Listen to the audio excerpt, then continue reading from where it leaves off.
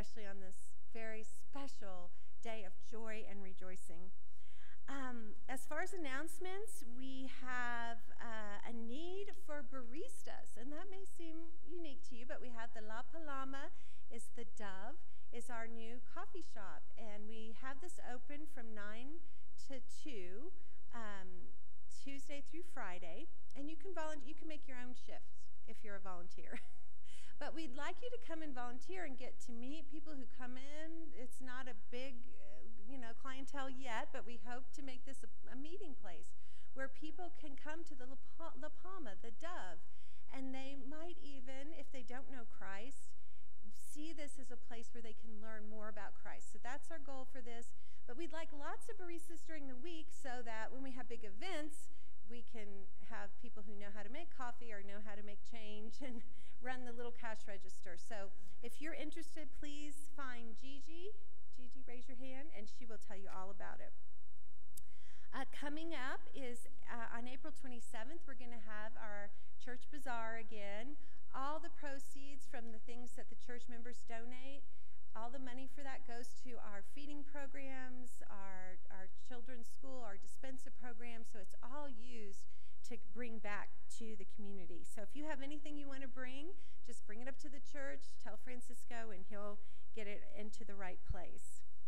Um, also, Wednesday Bible study will begin again at 10 a.m. on Wednesdays, and it'll be in the library, and that's just the door to the right. You can find it right there. Um, we are a praying church. If this is your first time, you may not know that about us. And we've put prayer request forms and a registration form on the clipboard in front of you. We'd love for you to fill out a prayer request and also the registration because then we can tell you about our WhatsApp and our um, our emails, and you can keep up with prayer requests. And, and it's a way to really form a community here at Lakeside. So um, look into that. There's also forms in the narthex as well by the the bags with the cookies that you don't want to forget. Um, also, Ted, one of our ministers here, wants you to know that he's available. He'll go right into the library right after the service, and he'll stay there for about 10 minutes.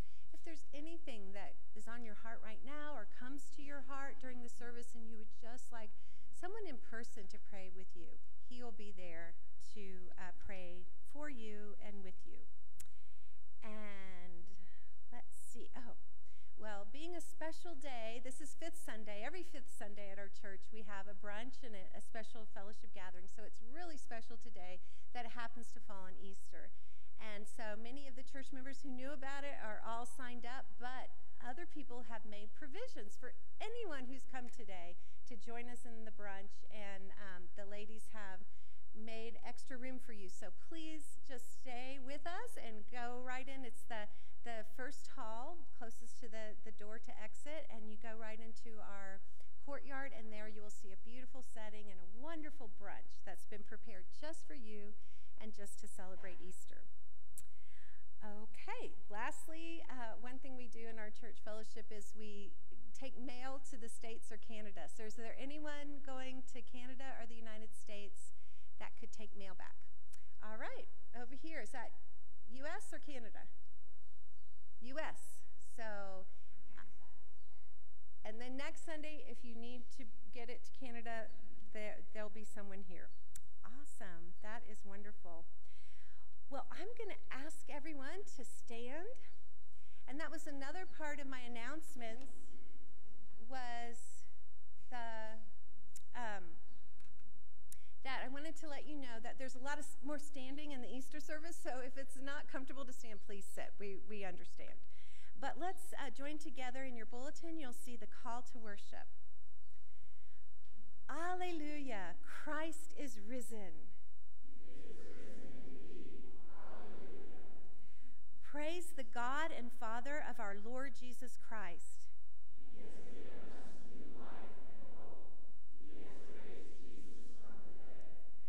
Alleluia, Christ is risen. Let's pray together. Father, we gather to worship you, our risen Savior. On this day, we celebrate that Christ trampled down death by death. Yes, we will each die, but through Christ, we can be assured that our death will be a passage into your eternal kingdom. We've gathered today to worship before you, exalting in your marvelous grace and your favor and blessing that none of us deserve. We are in awe of you because not only did Christ rise from the dead, but that you have raised us up through him and seated us with him in the heavenly realm, far above any conceivable command, authority, power, or control.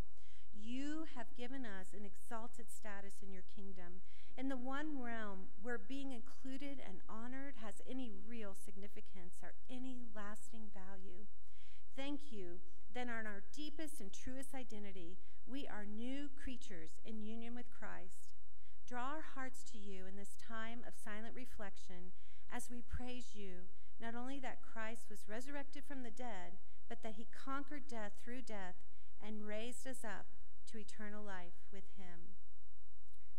Silently praise our Lord.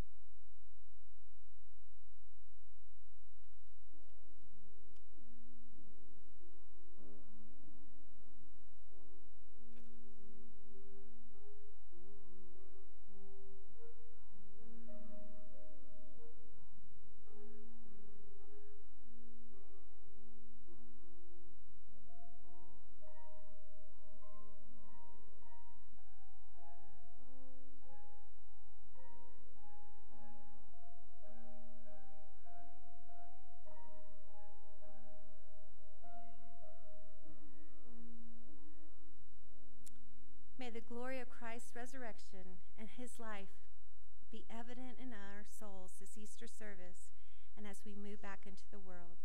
We ask in Jesus' name, Amen. Now remain standing as we sing Alleluia.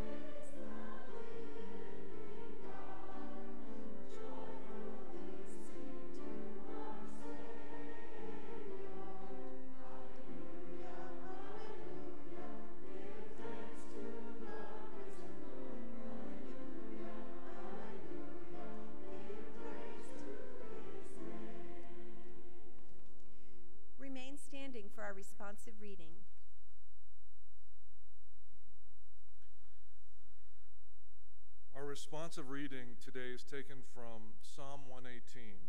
Please join me in the bold-faced type. Give thanks to the Lord, for he is good. His love endures forever. Let Israel say, his love endures forever. The Lord is my strength and my defense. He has become my salvation.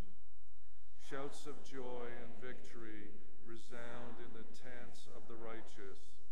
The Lord's right hand done mighty things. The Lord's right hand is lifted high. The Lord's right hand has done mighty things. I will not die, but live, and will proclaim what the Lord has done. The Lord has chastened me severely, but he has not given me over to death. Open for me the gates of the righteous. I will enter and give thanks to the Lord. This is the gate of the Lord, through which the righteous may enter. I will give you thanks, for you answered me. You have become my salvation. The stone the builders rejected has become the cornerstone. The Lord has done this, and it is marvelous in our eyes. The Lord has done it this very day. Let us rejoice and be glad. You may be seated.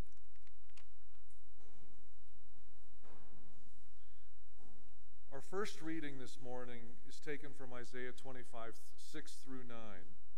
On this mountain, the Lord Almighty will prepare a feast of rich food for all peoples, a banquet of aged wine, the best of meats and the finest of wines.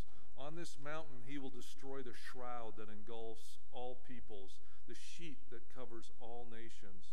He will swallow up death forever. The sovereign Lord will wipe away the tears from all faces. He will remove his people's disgrace from all the earth. The Lord has spoken. In that day they will say, Surely this is our God. We trusted in him, and he saved us. This is the Lord. We trusted in him. Let us rejoice and be glad in his salvation. You may remain seated for our next song.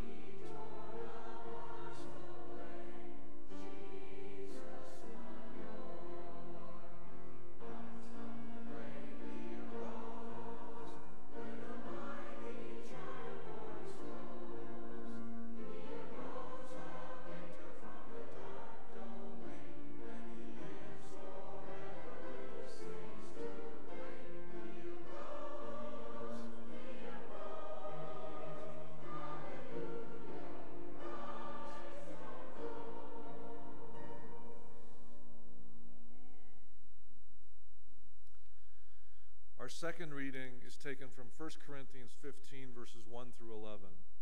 Now, brothers and sisters, I want to remind you of the gospel I preached to you, which you received and on which you have taken your stand.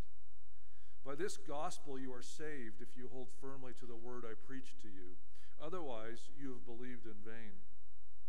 For what I received, I passed on to you as of first importance that Christ died for our sins according to the Scriptures, that he was buried, and he was raised on the third day according to the Scriptures, and that he appeared to Cephas and then to the twelve. After that, he appeared to more than 500 of the brothers and sisters at the same time, most of whom are still living, though some have fallen asleep. Then he appeared to James, then to all the apostles, and at, and at, at last he appeared to me also, as to one abnormally born. For I am the least of the apostles, and do not even deserve to be called an apostle, because I persecuted the church of God. But by the grace of God, I am what I am. And his grace to me was not without effect. No, I worked harder than all of them. Yet not I, but the grace of God that was with me. Whether then it is I or they, this is what we preach, and this is what you believed. This is the word of the Lord.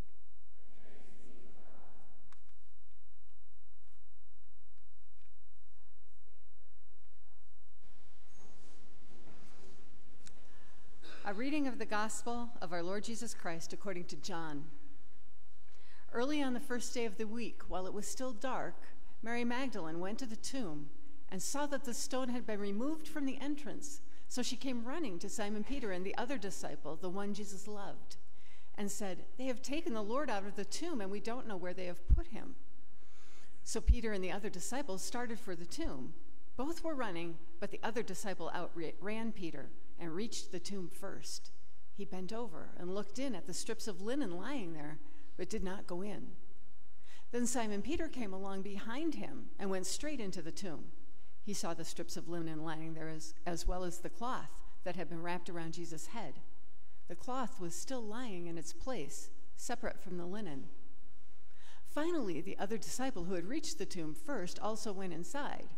He saw and believed. They still did not understand from Scripture that Jesus had to rise from the dead. Then the disciples went back to where they were staying. Now Mary stood outside the tomb crying. As she wept, she bent over to look into the tomb and saw two angels in white seated where Jesus' body had been, one at the head and the other at the foot. They asked her, Woman, why are you crying? They have taken my Lord away, she said, and I don't know where they have put him. At this, she turned around and saw Jesus standing there, but she did not realize that it was Jesus.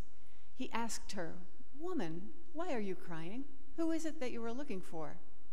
Thinking he was the gardener, she said, Sir, if you have carried him away, tell me where you have put him, and I will get him. Jesus said to her, Mary. She turned toward him and cried out in Aramaic, Rabboni, which means teacher. Jesus said, Do not hold on to me for I have not yet ascended to the Father. Go instead to my brothers and tell them, I am ascending to my Father and your Father, to my God and your God. Mary Magdalene went to the disciples with the news, I have seen the Lord, and she told them that he had said these things to her. On the evening of that first day of the week, when the disciples were together, with the doors locked for fear of the Jewish leaders, Jesus came and stood among them and said, Peace be with you. After he said this, he showed them his hands and side. The disciples were overjoyed when they saw the Lord. Again, Jesus said, Peace be with you. As the Father has sent me, I am sending you. And with that, he breathed on them and he said, Receive the Holy Spirit. If you forgive anyone's sins, their sins are forgiven. If you do not forgive them, they are not forgiven. Now, Thomas, also known as Didymus, one of the twelve, was not with the disciples when Jesus came. So the other disciples told him, We have seen the Lord. But he said to them, Unless I see the nail marks in his hands and put my fingers where the nails were and put my hand into his side, I will not believe.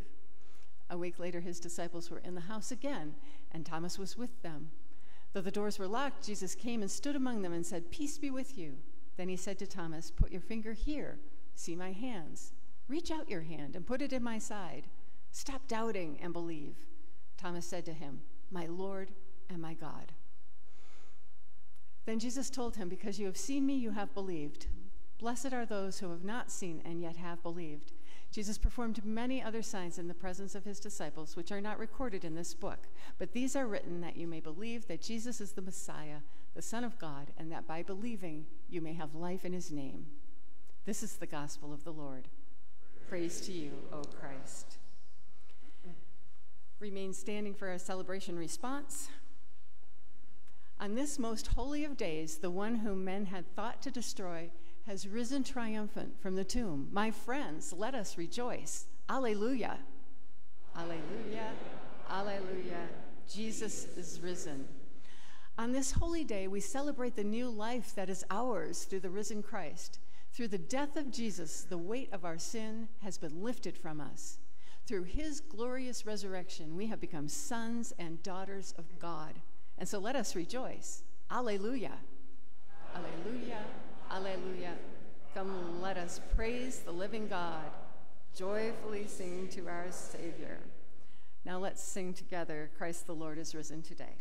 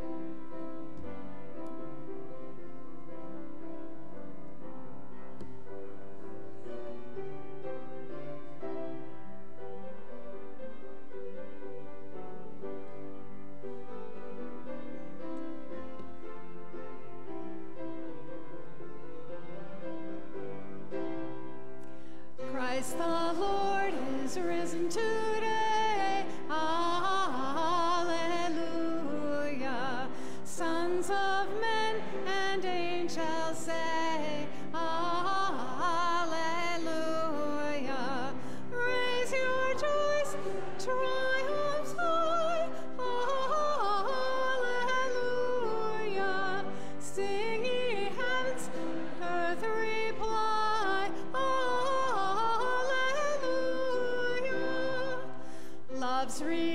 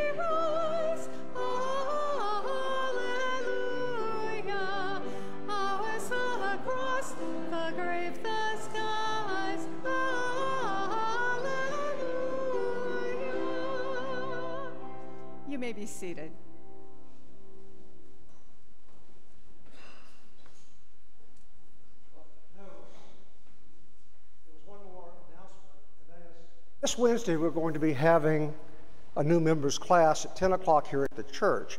And if you would like to join, but also if you just want to find out some more about what we believe, uh, come and be a part of the class. You do not have to join just because you go to the class. Well, this morning, surprise, we're going to be talking about the resurrection. And, you know, if you read a biography of a person, you come to the end of the book and you find that he died. And that's how the book ends, uh, but not the book of John. For when Jesus died, that was only the beginning. And the resurrection is absolutely essential to our faith. In fact, it is the core element. And when we talk about the gospel, we mean that Jesus, the Son of God, came into the world, the Messiah. He lived a perfect life. He died on the cross, and he arose again from the dead. I'm going to be just telling you the story that we read a little while ago from John chapter 20. And it begins with Mary Magdalene, and she went to the tomb very early. It was still dark. And Mary Magdalene loved Jesus. And so she was going there, according to Mark, to anoint him. But also, it was the custom of the Jews to go to the graveside for three days after the person died. Mary got there, and to her surprise, the great stone had been rolled away. Now, there were guards, Roman guards, that had been watching this. So, had they moved it, or what had happened? She went inside, and there were the grave clothes, the shroud, and the head bandage were just laying there. And so, in her mind, somebody must have stolen it. And she was thinking perhaps to herself, who could have done this? Well, maybe it was the Jews because they were the ones that seized Jesus. They were the ones that saw to his trial, his crucifixion on the cross, and maybe this was the last of the indignities of the Jews. So she left hurriedly and went to Peter and John. Now, both of them began running after they found out the news to get to the tomb. Peter may have been a little bit older because John ran faster. I, I used to run track when I was in high school. I could not do that today. A fast walk is about all that I could manage. So you can understand, John got there, but he did not go in. But Peter, huffing and puffing, when he finally arrived, uh, was bold and impetuous like always, and he went inside. And there they both saw the grave clothes. But they weren't folded nicely like somebody had removed them. Instead, they were exactly as they had been when Jesus was placed there. It's like the body just evaporated and left those garments. So it says that one of them was the first one to believe in the resurrection, and that was John. The Bible says that Jesus loved John, and John was one of the inner sanctum of the, the disciples. John was the first one to believe in the resurrection. No doubt Peter was right him, and so they left, and Mary Magdalene came a second time. And she was disturbed. She hadn't talked to Peter and John, and she began crying.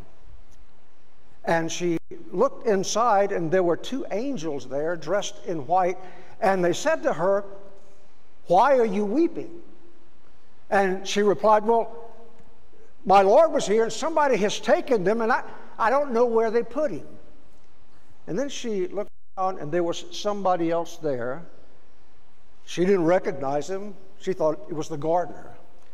And she said to him, Sir, if you've taken his body somewhere, tell me where it is so I can go and get it and bring it back. Why didn't she recognize him? Well, she certainly knew Jesus well, but she was weeping. That may have been the reason. But also, we know later that Jesus appeared to the two men walking on the road to Emmaus, and they did not recognize him for some time. Maybe in this glorified body, uh, he could be obscured. Evidently, that might have been the case. But what for forever, she did not recognize him at first. And so, Jesus, when he said, Why are you weeping? she said, Are you the one that's taken the body and show me where it is? And then Jesus said, Mary. And she recognized his voice. And so she went to him and he said, Touch me not. Now, the story goes on. And so the disciples evidently they had heard rumors that, and some of actually had seen uh, the Lord. And they were in the upper room and they were praying, and Jesus suddenly appeared. The door was locked to keep out the authorities. And Jesus appeared there behind closed door. You know, the Bible says one day we're going to have glorified bodies like Jesus' glorified body. Nice to kind of flip in and out, go through doors and windows and walls, whatever. And he also ate fish on the seashore. So maybe I can still have shrimp and catfish in heaven. But we're going to have glorified bodies. And uh, Jesus, with that glorified body, appeared and he said, Peace be with you. And all the disciples there saw the resurrected Christ, except Thomas. Thomas was not there. He missed a prayer meeting. You know, it's good never to miss coming to God to work because you never know when the Holy Spirit might appear and you might miss him. Well, that, uh, that happened to Thomas. He was away for some reason. And the other disciples went to Thomas and they said, Thomas, uh, you're not going to believe this. Jesus is alive. We saw him. And even though these were his brothers and he had been with them for three years, he said, No. Dead men do not rise unless I see the scars of his hands and feet and touch them with my hands. I will not believe. He didn't say, I cannot. He said, I will not believe. So for a week, Thomas did not believe. And so on the eighth day after that, they were again in the upper room praying. And Jesus appeared, and Thomas was there. Once more, he said, Peace be with you. And then he turned to Thomas and he said, do you want to go ahead and touch the scars of my hand and my side? There's no evidence that Thomas did that. Instead, he simply declared, My Lord and my God. Thomas believed. But I don't want today just to look at the resurrection. I want to look at how it transformed lives and how it transforms lives even today. First of all, uh, there's Mary Magdalene, and her grief was turned to gladness. It says, early on the first day of the week, while it was still dark, Mary Magdalene went to the tomb and saw that the stone had been removed from the entrance.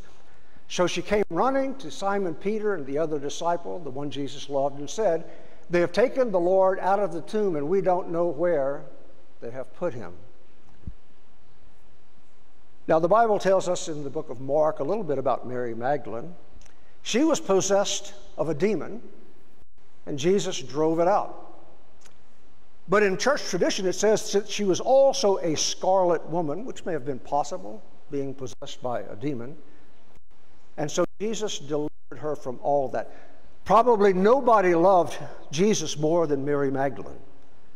And so she was going first, early in the morning, before everyone else to anoint Jesus and perhaps just to be there. And when she went there, the uh, tomb was empty. And she was utterly confused. Now you can imagine Mary.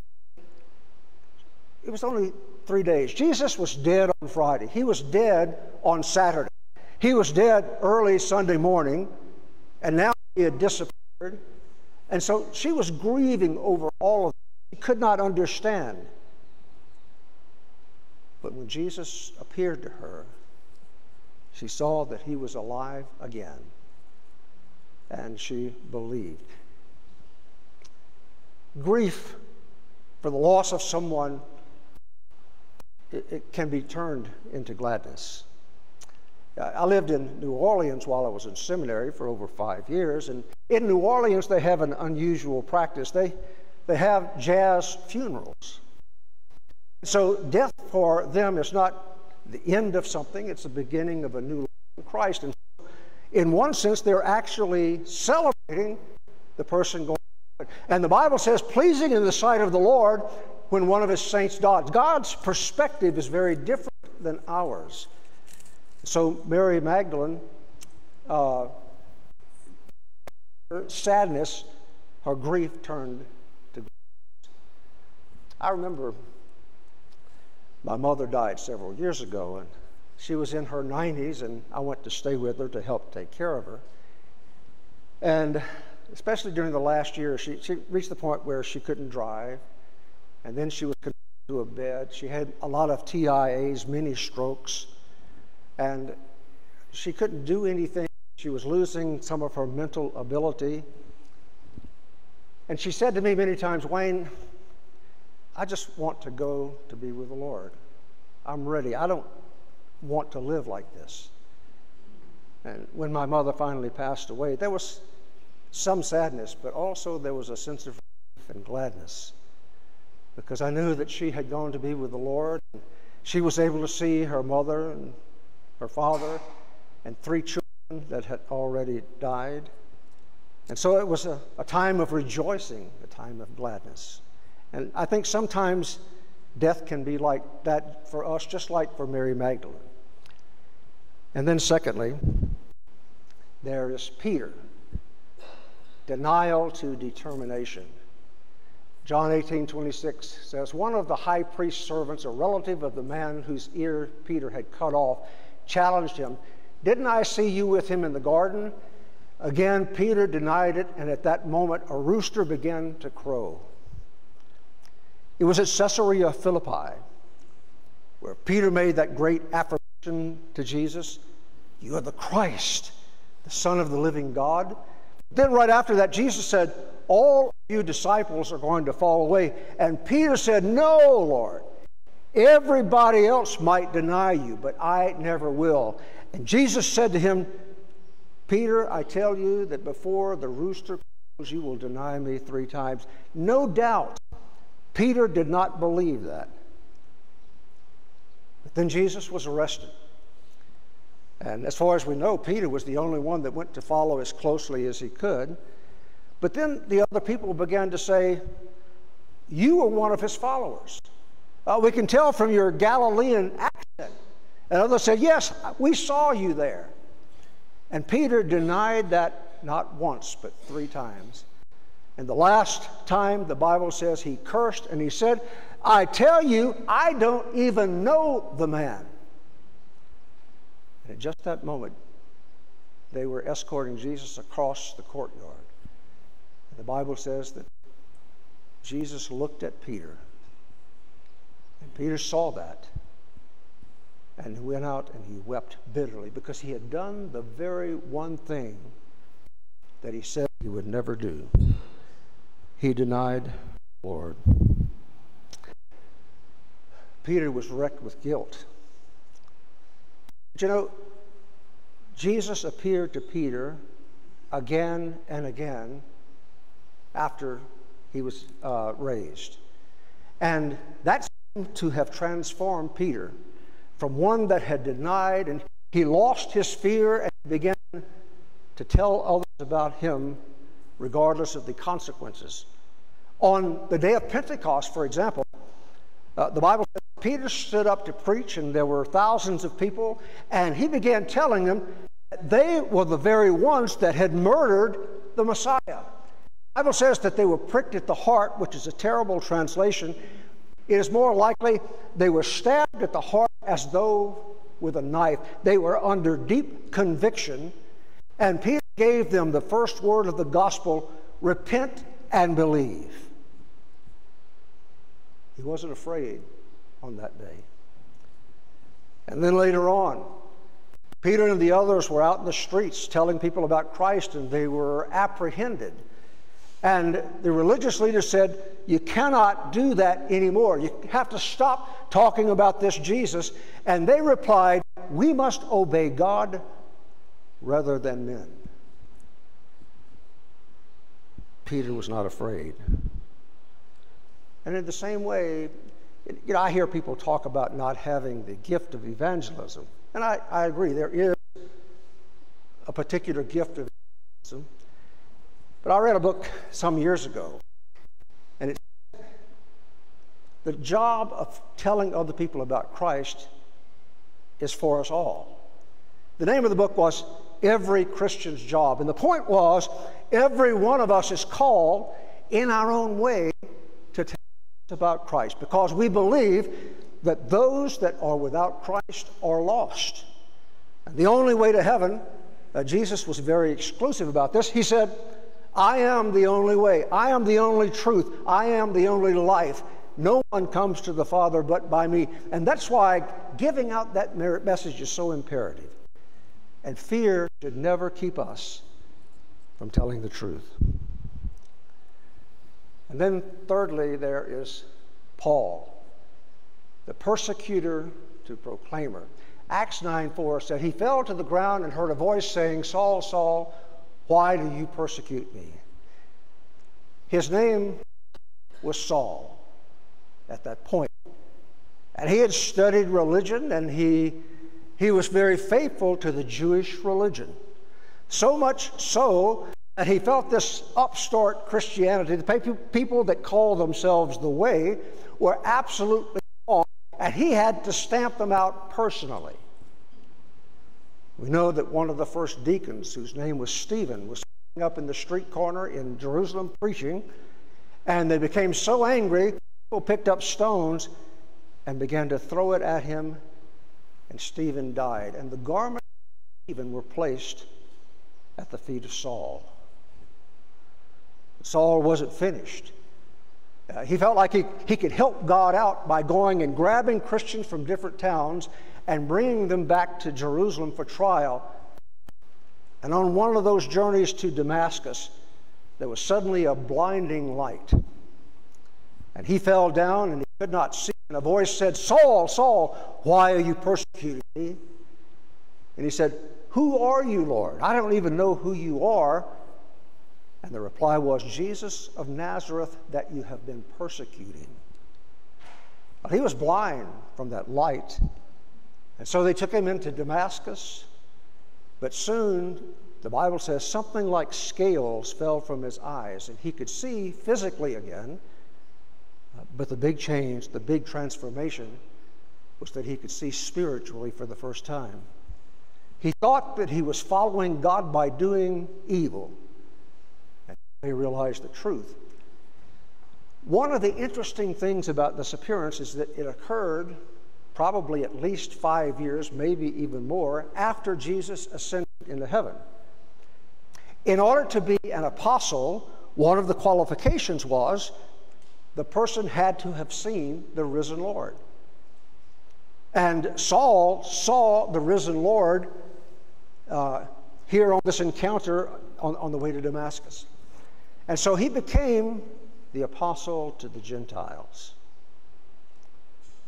From that on, Saul was a new man. Instead of persecuting Christians, he became an advocate. And he started going around as a missionary. He went on at least three missionary journeys. And he would go to the towns, he would preach Christ, he would establish churches, and later he write, would write letters to them.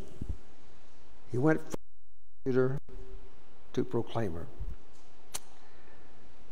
What a great, marvelous thing that the resurrection can have that kind of an impact upon people.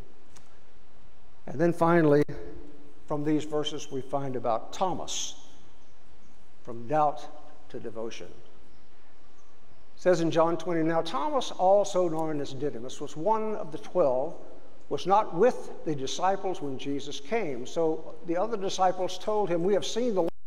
But he said, Unless I see the nail mark in his hands and put my finger where the nails were and put my hand into his side, I will not believe. A week, later, his disciples were in the house again, and Thomas was with them. Though the doors were locked, Jesus came and stood among them and said, Peace be with you. Then he said to Thomas, Put your finger here, see my hands, reach out your hand and put it into my side.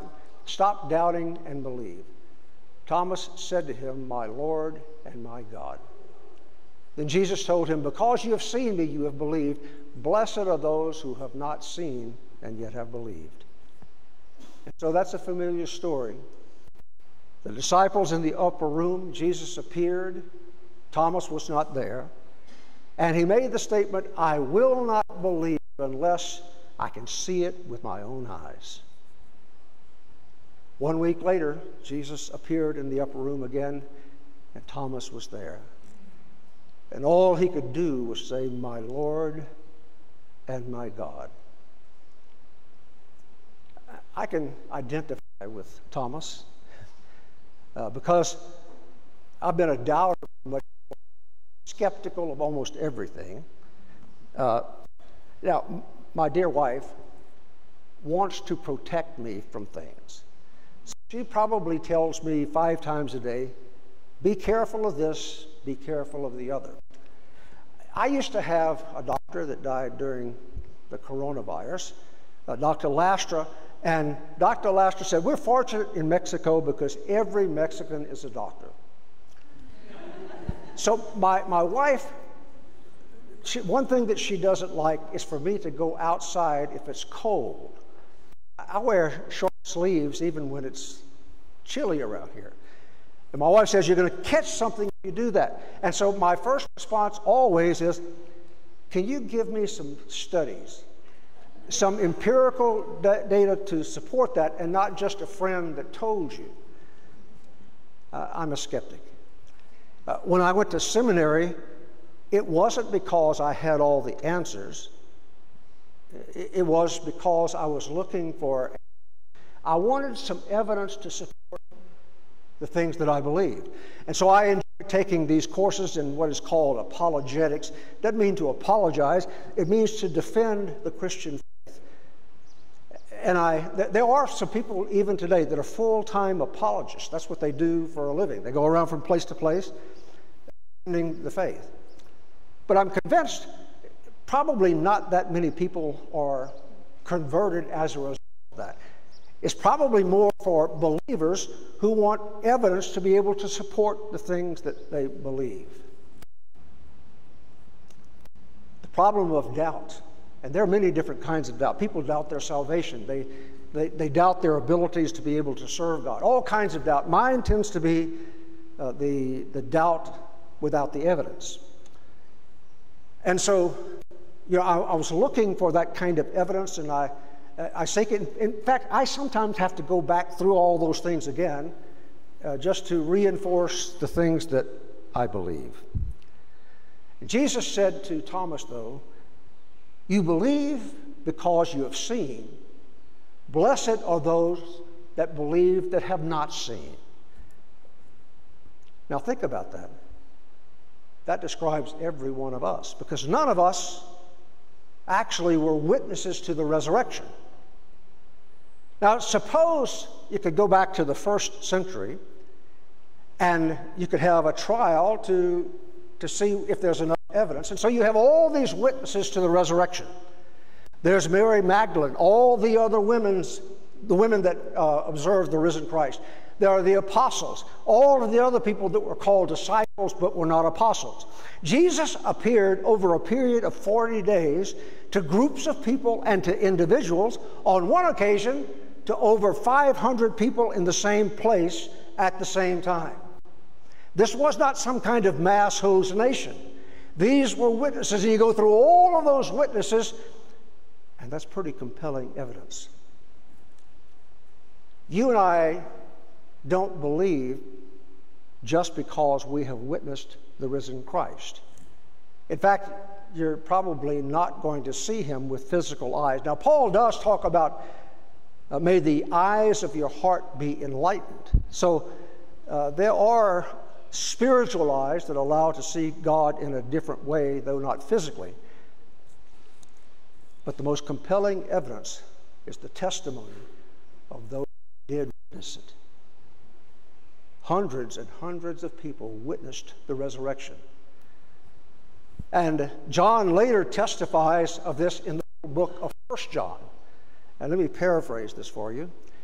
He said, The ones, the things that we have seen with our own eyes, that which we have touched with our own hands, that which we have heard with our own ears, we declare also to you. And so we depend upon the testimony, the witness of those that did see the resurrection. and that is compelling evidence and so, because of that, you and I today can recite together the ancient blessing of Sunday morning. And we say, as we greet one another, He is risen. And the response is, He is risen indeed. Amen.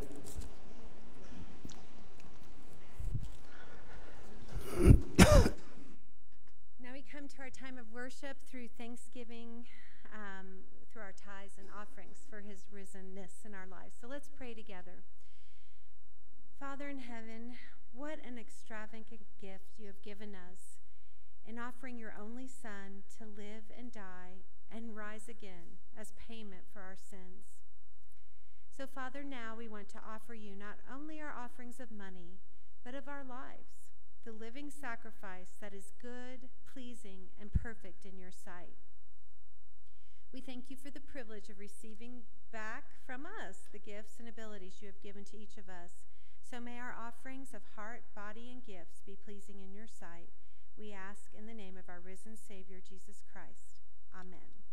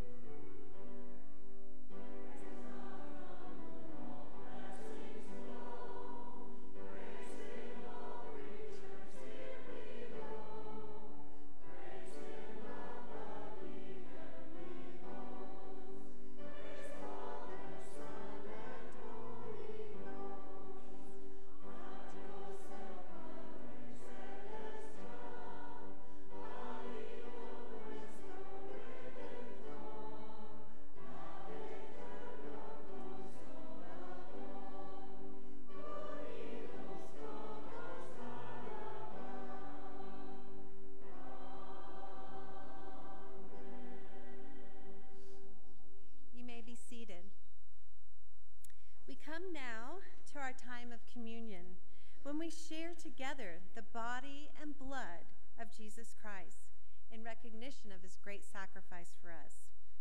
Here at Lakeside Presbyterian Church, we practice open communion, where we invite all baptized believers in Jesus Christ to share at this table. But it's not to be taken lightly. As the Apostle Paul wrote to the church in Corinth about partaking in communion, is not the cup of thanksgiving for which we give thanks a participation in the blood of Christ. And is not the bread that we break a participation in the body of Christ. Because there is one loaf, we who are many are one body, for we all partake of one loaf. Therefore, whoever eats the bread or drinks the cup of the Lord in an unworthy manner will be guilty of sinning against the body and the blood of the Lord. A man ought to examine himself before he eats the bread and drinks of the cup. For anyone who eats and drinks without recognizing the body of the Lord eats and drinks judgment on himself. And so now, as we prepare to come to the table of the Lord, let us confess our sins against God and our neighbor.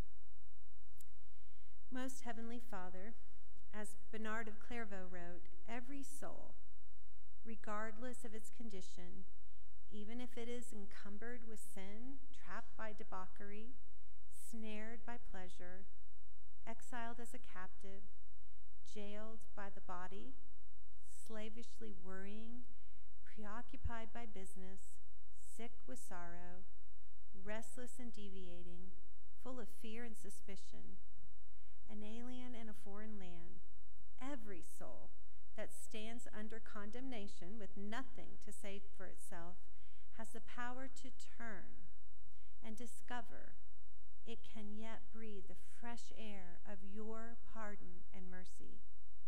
Hear now our soul's acknowledgement of our personal sins before communion.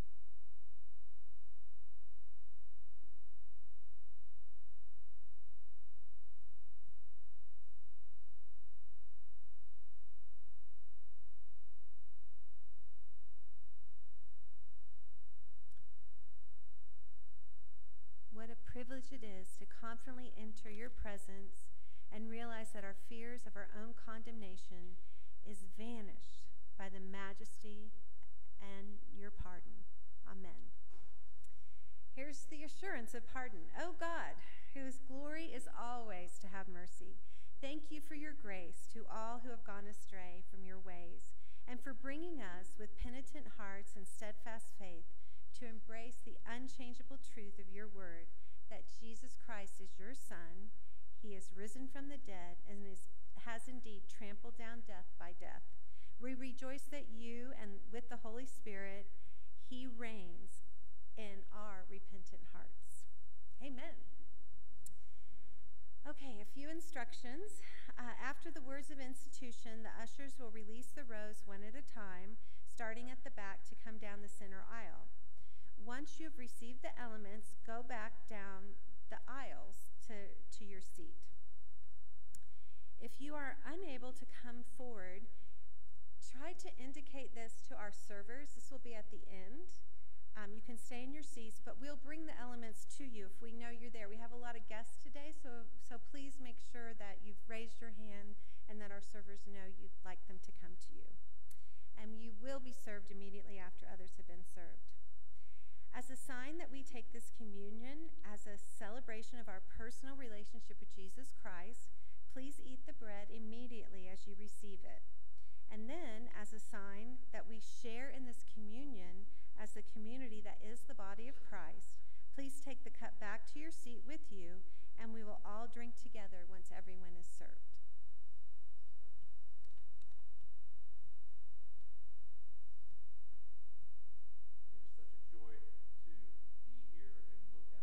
On the best view ever the people of God. Wow. In the beginning, God created us to be image bearers of Himself, to remind all of creation that there is a God who self defines as love. But we rebelled. We fell, separating ourselves both from God and from our appointed purpose. Though we left God, He never left us. And though we have fallen through our disobedience to sin and death, God, in His infinite mercy, His grace, and His love, sent His only begotten Son, our Savior, Jesus Christ, to live among us. He suffered every hardship, every adversity, every trial, every trouble, every temptation that we face, but He did it without sin. And finally, he stretched out his arms on the cross in perfect obedience to God the Father and offered himself as a sacrifice for the sins of the whole world. On the night in which he was betrayed, our Lord Jesus took bread, and when he had given thanks for it, he broke it gave it to his disciples, saying, Take, eat, this is my body which is broken for you. Do this in remembrance of me.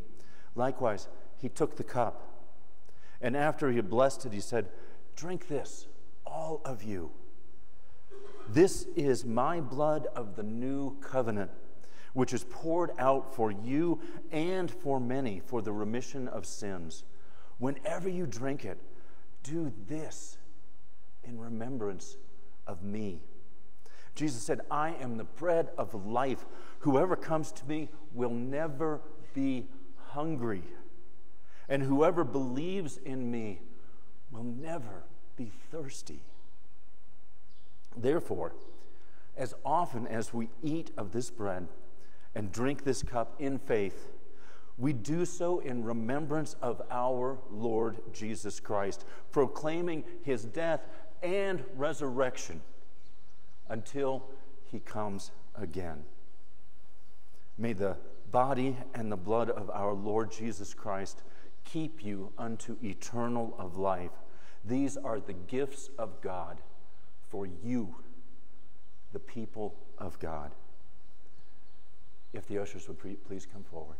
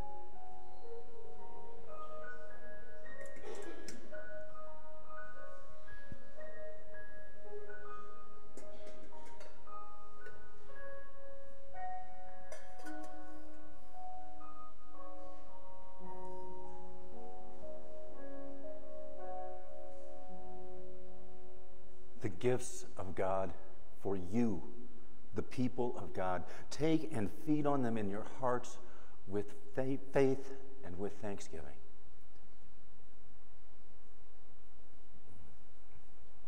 Let us pray. Almighty and loving God, we thank you that you have fed us with the holy mysteries of the body and blood of your Son, our Savior, Jesus Christ.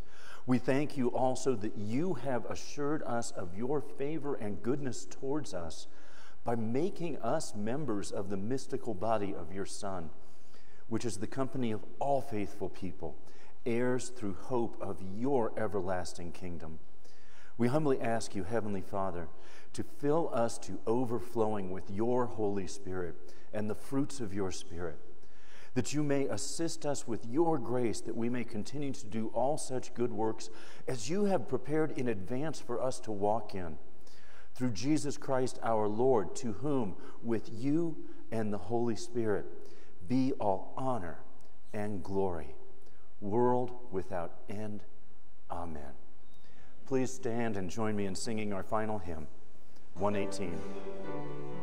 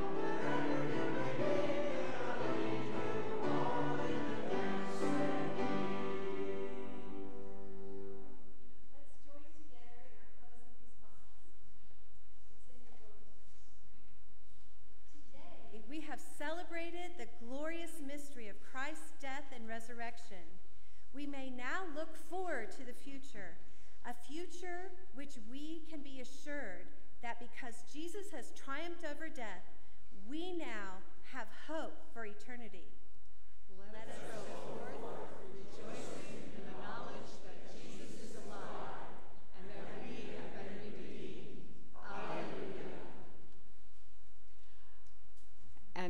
Before the benediction, I want to remind you that you turn to the right as you leave and join us for our uh, Easter Sunday brunch.